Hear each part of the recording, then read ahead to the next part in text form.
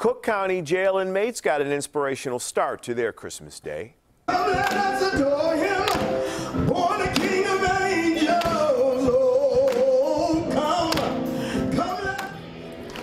Lots of clapping and smiling at the jail, continuing a decades long tradition. The Reverend Jesse Jackson, choir and band, led the inmates in prayer and song. He urged them to get out of jail and not return. When I leave, I'm not coming back. You want to pray that, pray that prayer, get on your knees, let's say a prayer. Get on your knees, let's say a prayer. The 76 year old civil rights leader is battling Parkinson's disease with physical therapy, medicine, and prayer. He says he's traveling less and managing his time better.